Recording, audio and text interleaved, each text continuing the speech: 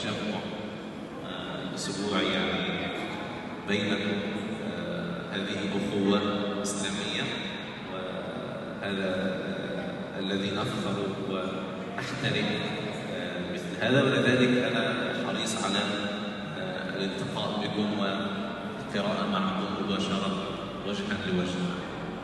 Syekh sangat bahagia